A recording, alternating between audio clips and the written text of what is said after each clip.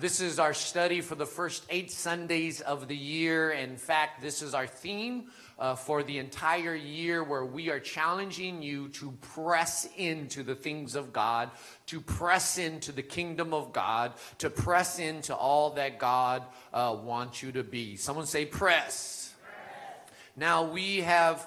Uh, deci- we have defined the kingdom of God as God's alternative civilization amid the world's fallen civilization ruled by his reign, his presence, and his order. This is kind of the definition uh, that we have given uh, to you to think about, to start to process uh, this definition of God's alternative civilization amid the world's fallen civilization uh, ruled by his reign, his his presence and order. Now, re- I want to remind you that um, no one definition can contain all that is in the kingdom of God because the kingdom of God is too powerful and it is too vast. But we are learning that the kingdom of God is everything we need for life and godliness. Remember that? Everything we need for life and godliness is in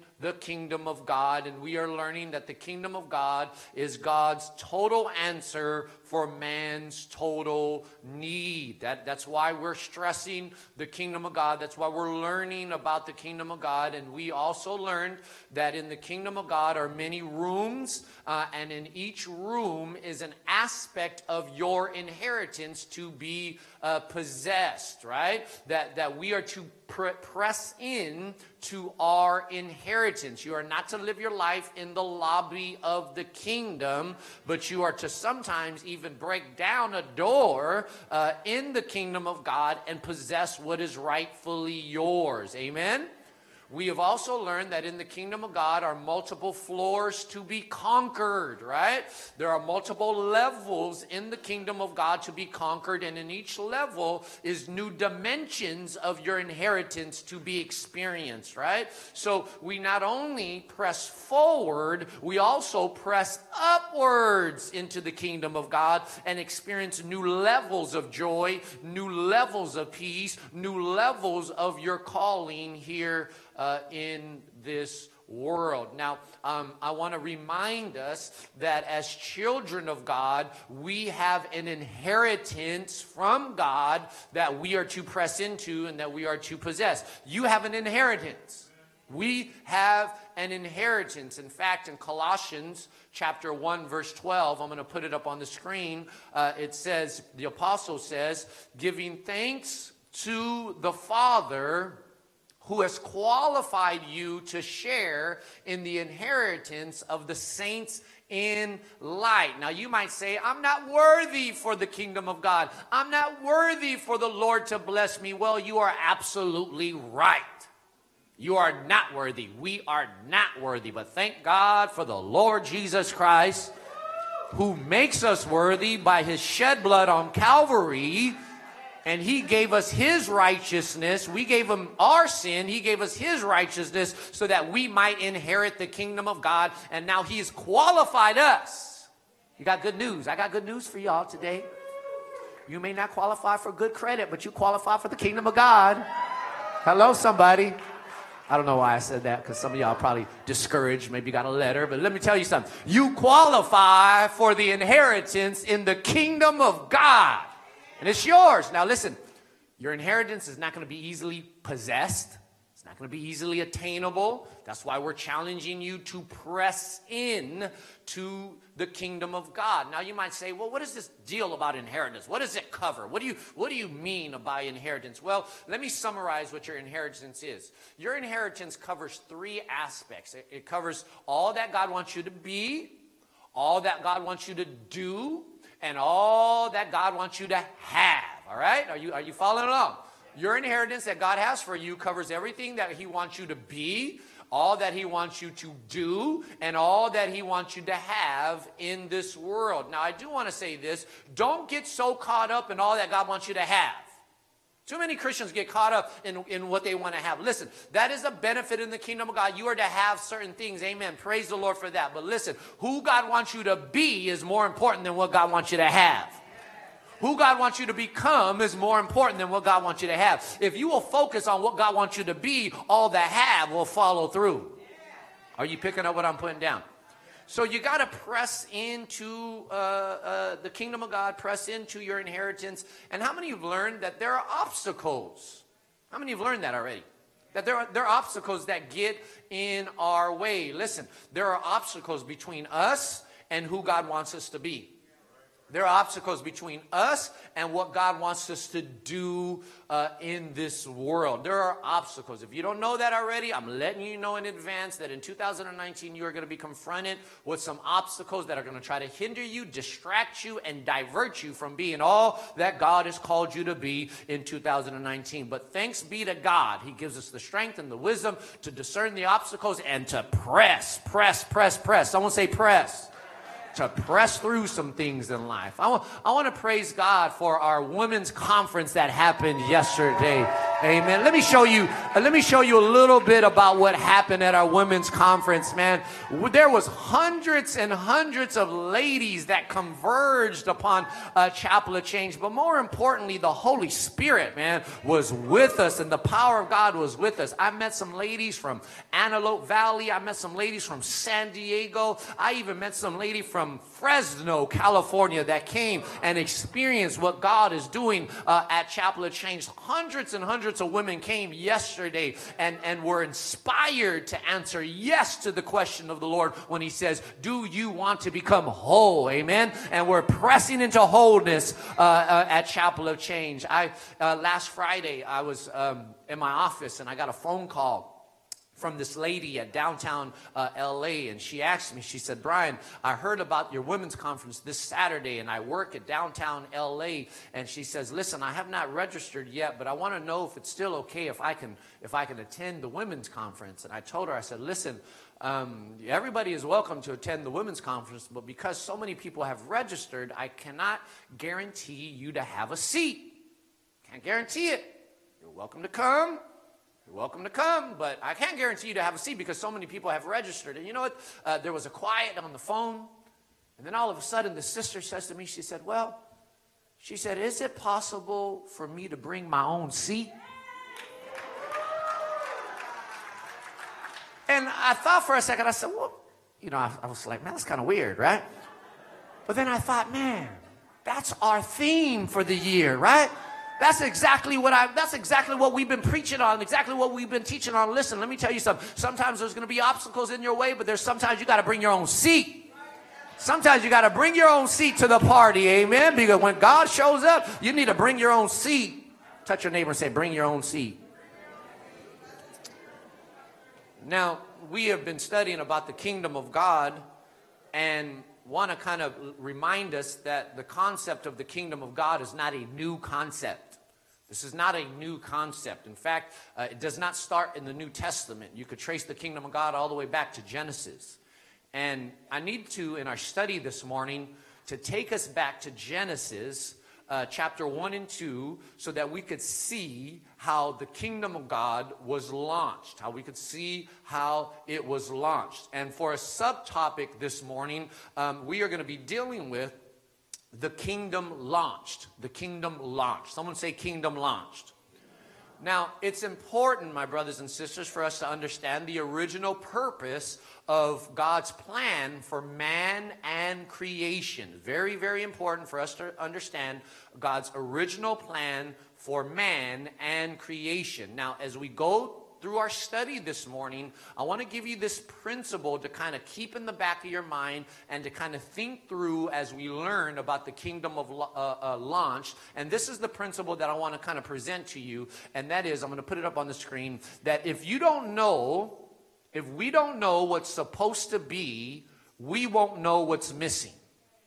I want to give this principle. Think about this principle as we study this morning. I want you to keep this running in the back of your mind. If we don't know what's supposed to be, we won't know what's missing. Now, my brothers and sisters, it is possible to be robbed and not even know it. It's possible to be robbed and not even know it. It's possible to be walking around with a smile on your face and all the time you've been robbed because you don't know what's supposed to be. Are you picking up what I'm putting down? we could be robbed and don't even know it if you don't know how your life is supposed to be. And so I want to, I want you to keep this principle in your mind that if we don't know what's supposed to be, we won't know what's what, what's missing because a lot of people, even Christians, are walking around saved, but they're walking around robbed. Ain't nothing worse like a robbed Christian right? And I want to remind us that the Bible is God's original blueprint for the way that our lives are supposed to be. Right? The Bible, this Bible, this inspired Word of God, is our original blueprint for how our life is supposed to be. This is the original blueprint for God's purpose for our life. Are you picking up what I'm putting down? Now let's turn back to Genesis. We need to go back to Genesis chapter 1 and chapter 2 and see how the kingdom of God was originally launched uh, so that we could see how it's supposed to be. Now, as we study, you need to know that the plot line for the kingdom of God is found in Genesis 1, Genesis 2, and Genesis chapter 3. I'm not going to read this entire three chapters this morning, but I'm going to read some portions of it to kind of set up our reflection and our meditation for us uh, this morning. But I want to encourage you on your own to go back and read Genesis chapter 1, Genesis chapter 2, and Genesis chapter 3. Uh, I invite you right now to turn to Genesis chapter 1, verse 26, Genesis chapter 1, verse 26. And I'm going to read quite a few uh, scriptures, and I want you to follow along in your mind uh, as I read the scripture. Genesis chapter 1, verse 26. When everybody's there, say amen. amen. Listen to this. Then God said, Let us make man in our image, according to our likeness. Let them have dominion. Someone say dominion dominion over the fish of the sea and over the birds of the air and over the cattle and over all the earth and over every creepy thing that creeps on the earth. So God created man in his own image. Someone say image. In the image of God, he created him, male and female, he created them. Then God blessed them, and God said to them, be fruitful and multiply, fill the earth and subdue it, and have dominion. Someone say dominion. Dominion over the fish of the sea and over the birds of the air and over every living thing that moves on the earth. I want you to skip uh, to chapter 2, verse 8. Chapter 2, verse 8. When everybody's there, say amen. All right, 2, verse 8. Let's pick up like this. Then God planted a garden. Someone say garden. Garden eastward in Eden, on the east side of Eden. Y'all didn't catch that. And there he put the man whom he had formed. And out of the ground the Lord made every tree grow that is pleasant to the sight and good for food. The tree of life was also in the midst of the garden, and the tree of the knowledge of good and evil. Skip down to verse 15. Skip down to verse 15. Then the Lord God took the man and put him in the garden. Someone say garden.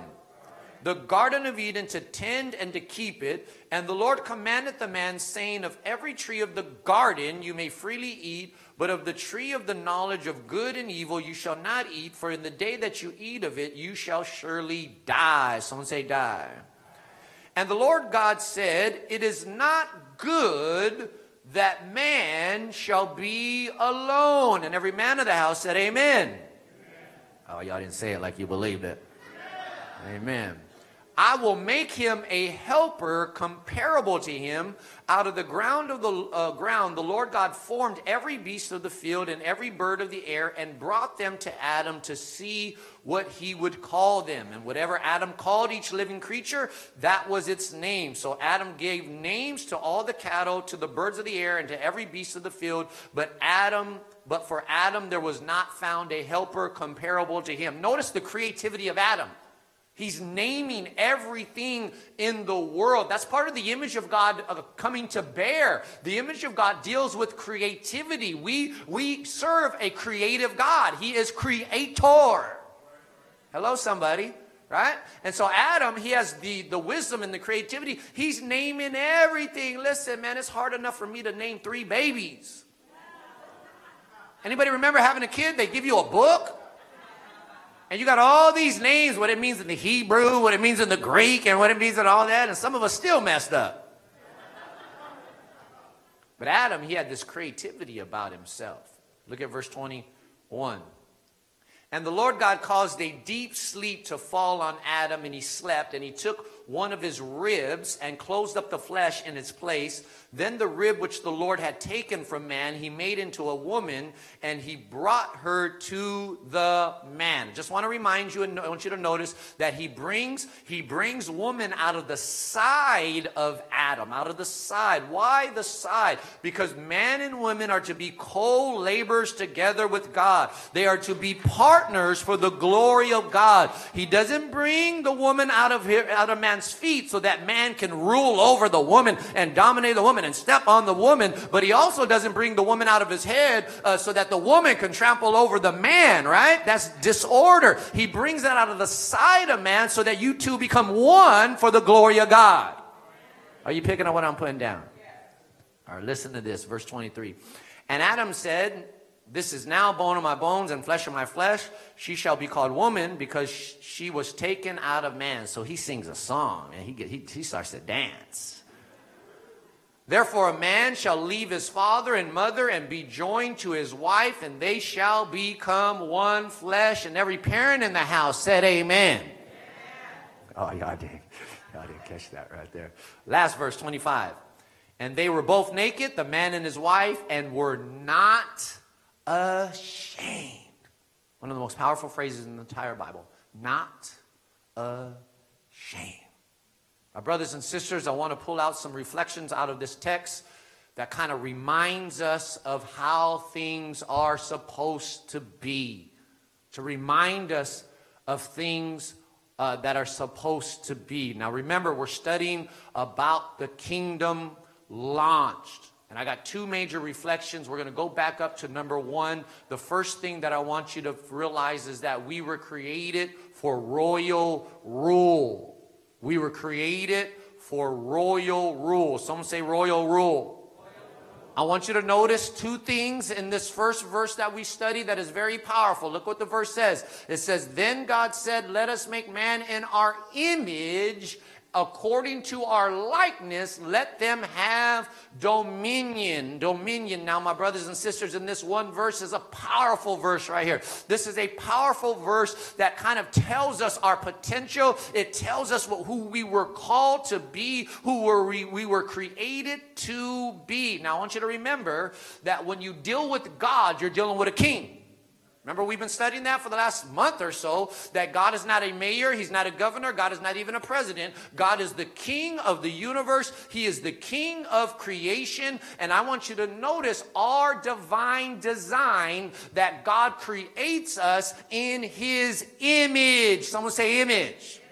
I want you to notice our divine design that God creates us in his own image. We are the only part of creation that is created in the image of God. When you go back to Genesis chapter 1 and you see how God created the animals, all the animals were created after their own likeness, after their own likeness. But when God went to create you and I, he broke the pattern and he said, No, I'm not creating them like a dog. I'm not creating them like a donkey. I'm not creating them like a, you know, something else. I'm creating them in my own image. Are you following along? Now, the truth, the truth about being created in the image of God is so, so deep, so, so deep that I want to let you know we still don't even understand all that it means. It is a deep, deep revelation uh, in the kingdom of God. But the reality is, the Bible teaches that we are created in God's image. In Genesis 9 6, it further reinforces it that says, For in the image of God has God made mankind. Now, this truth is so deep that we don't totally understand it, but there are some things we do understand about the image of God. One of the things I want to point out to you that we do understand is that when God went to create us in his image, what he's doing is he's placing his own stamp on us. He is stamping us with himself. That's one of the things that it means to be created in the image of God. That God placed his own personal self as a stamp onto mankind. I don't know if you know this already, but you've been stamped. Touch your neighbor, say, You've been stamped. Now, the, the, the things pertaining to God as a ruler has been stamped into the heart of mankind right? The things pertaining to God as a ruler have been stamped onto the heart of mankind. His royal image has been stamped upon us. And one of the things I really, really want to kind of, kind of, kind of dig deep in is that all of us as mankind were chosen to be God's royal representatives in this world. Our original assignment in this world included to be royal representatives of God in this earth. That's powerful. That's powerful.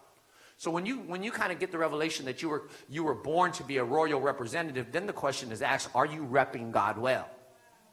Are you repping God well? Are you repping the kingdom of God well because you have been stamped with the royal image of God on side of you. See, the reason why the enemy don't want you to think in terms of royalty because if he could stop you to think in, of thinking in, t- in terms of royalty then he can stop you from acting in ways of royalty.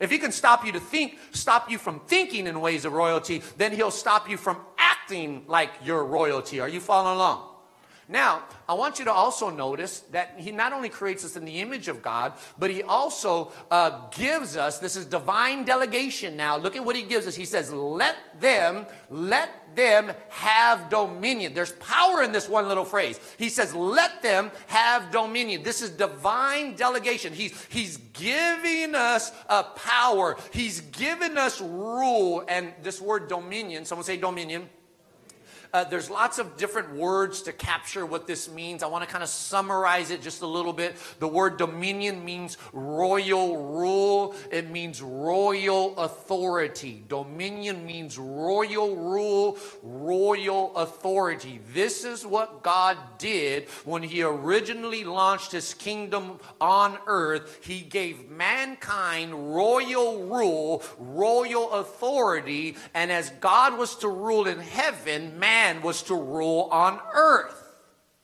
See, see, God wanted to rule this world through you and I.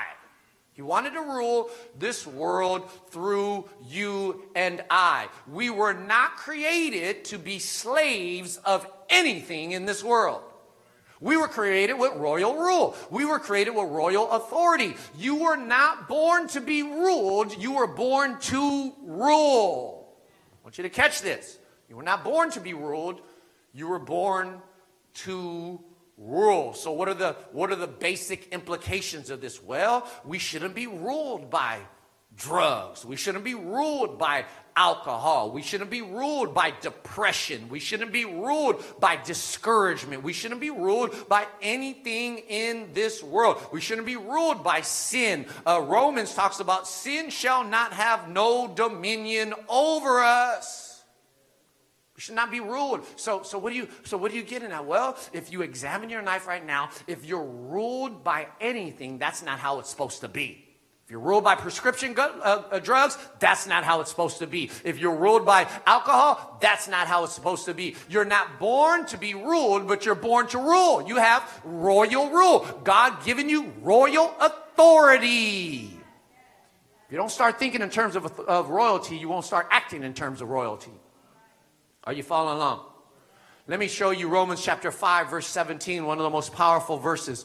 Romans 5 17, listen to this. It says, For those who receive the abundance of grace and the free gift of righteousness, that's you and I, that's you and I, reign in life through the one man, Jesus Christ. I want you to notice it doesn't say reign in heaven. It doesn't say reign in heaven. Yes, there's going to come a time where the kingdom of God comes to full bear and we receive the totality of our, our inheritance when we get to that place uh, called heaven. But there is an element of your royal rule that should be exercised in this earth right now. And it's called you are to reign in life through who? The one man, Jesus Christ. Jesus didn't just call you to save you, He called you so that you could rule and extend His glory in this world.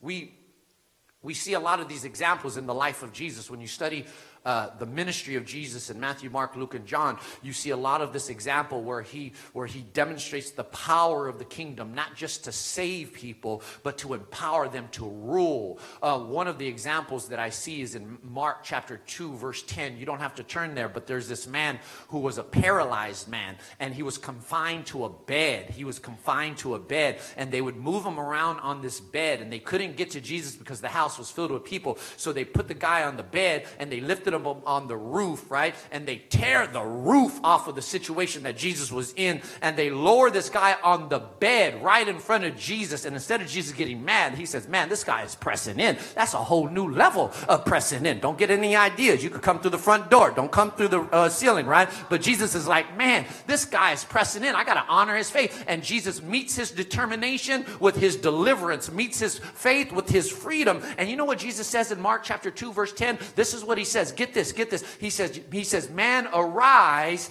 take up your bed and go home. That's what he says in Mark chapter 2, verse 10. He says, he says, get up, um, take up your bed and go home. I want you to notice something. I want you to notice something. He doesn't just say go home. You know what he says? He says, take up your bed. He says, take up your bed. What do you mean by that? Take up my bed. Yeah. I don't want to just save you. I want to empower you. I want you to, I want to empower you to lift up that thing that was lifting up you. I want to empower you to rule that thing that was ruling you. I want to empower you to take charge of your life. I don't want to just send you home. I want you to go home with that bed. Pick up that bed. Go home. That's an example of ruling. Ruling. Why? Because we were created with royal rule. Here's another one that I see in the text is we were created uh, for royal environment. Someone say environment. We were created for royal environment. I want to I want to point out different elements of the environment that God created when he first launched uh, the kingdom of God because environment is powerful. If the enemy got you in the wrong environment, he can sap you of your strength. He could sap you of your faith. In fact, I would suggest to you that some of y'all are in the wrong environment, and that is the reason why you don't feel like getting up in the morning. You could be in the wrong environment and it's so bad, you don't feel like getting up in the morning. You don't feel like brushing your teeth. Why? Because you're in the wrong environment. You don't even realize that. And it's sapping you of your faith, sapping of you of your hope. You need to be reminded, man, we were created for a royal environment. Listen to this. I want to highlight some of the elements. The first thing I want you to notice is that God places man in a garden. Someone say garden. Genesis 2, 2 8 says, The Lord God planted a garden eastward in Eden, and there he put the man whom he had formed. Now, when I think of garden, my mind goes to tomatoes. My mind goes to lettuce. When I think of garden, my mind starts to think of my mother in law in the backyard in the dirt. But that's not the type of garden that God was talking about in Genesis 2. And let me just kind of expand your thinking for a second. When we go to study the Bible, we err when we try to look at the Bible through our 2019 minds there's what you call in studying the Bible um, context determines meaning. Context determines meaning. So when you go to the to the Bible, you have to dig, undig the the the context of the scripture that was written in. And one of the levels of, of context is the historical setting. In other words, you got to look at that scripture to the way they saw it. What did it mean to them, not to you? Here's a, here's a mistake that a lot of people make when they approach the Bible. The first question they ask is, "What does it mean to me?" That's not the first question that you ask when you approach the Bible. That's a mistake. That question will come in your study, but the first question you got to ask is what did this mean to them at that particular time? Are you picking up what I'm putting down?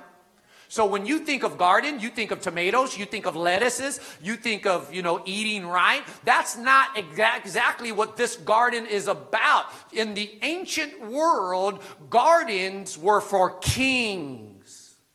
In the ancient world, not everybody had a garden. In the ancient world, gardens were for kings. So the garden in the Eden, get this, my brothers and sisters, is a kingly image. It is a royal image. And we see in the garden a picture of the kingdom of God. It is a kingly image. It is a royal image. And it, it means or it reinforces the image that God created, get this, Adam and Eve to be a king and a queen on this earth. Y'all didn't catch that. Y'all didn't catch it.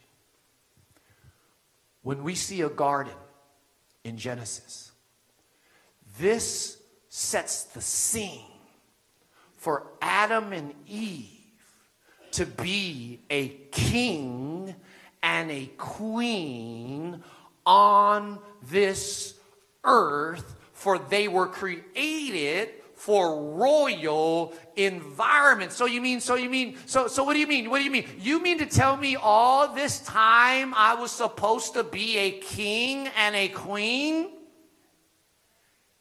Yes.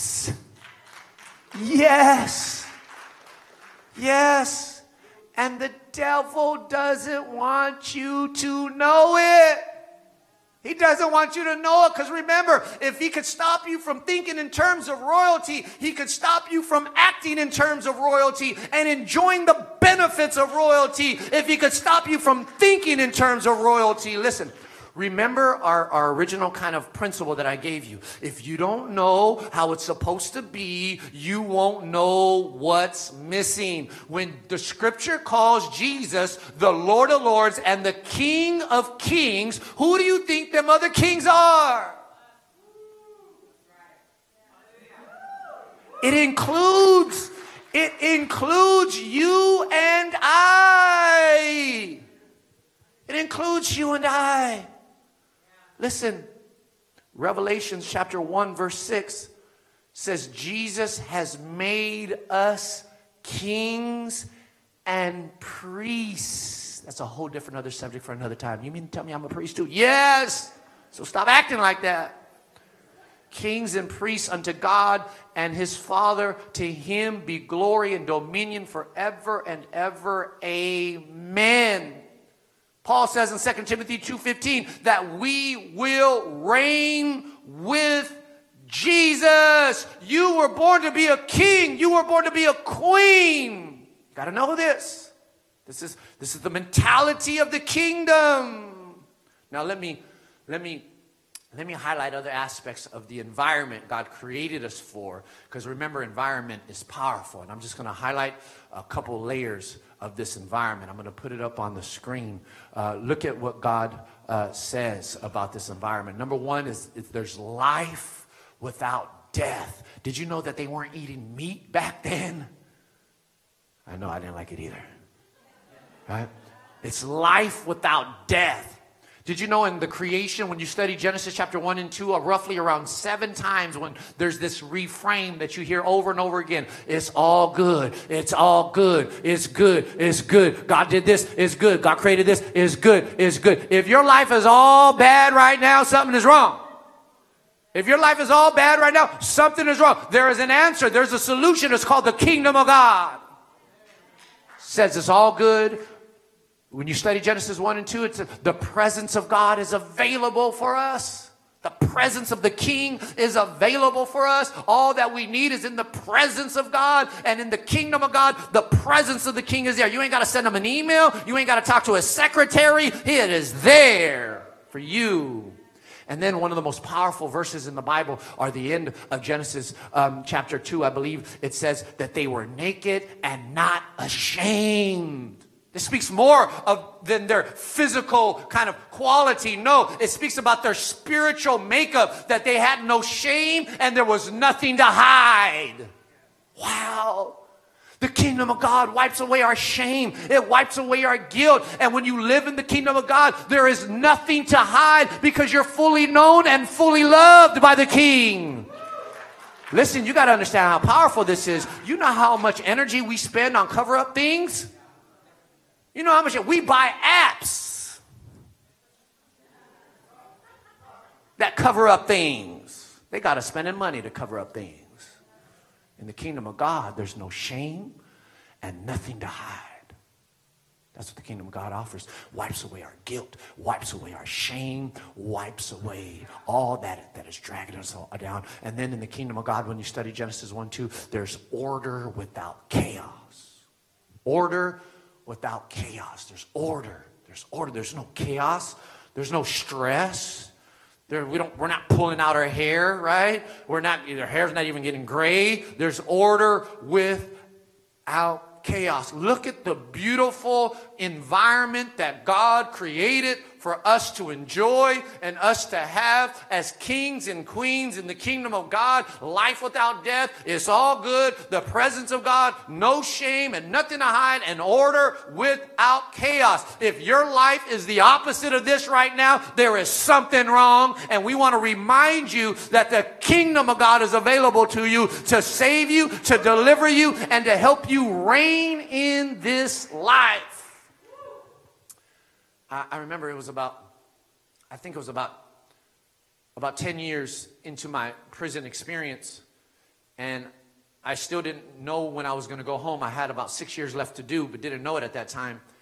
And it was about four in the evening, and I was laying down taking a nap, and I heard it over the intercom. They yelled out, Chow time, chow time. That means it's time to go eat. And I got up off of my bed, and in prison, in chow time, when you go to eat, I was in a dorm with about 400 people.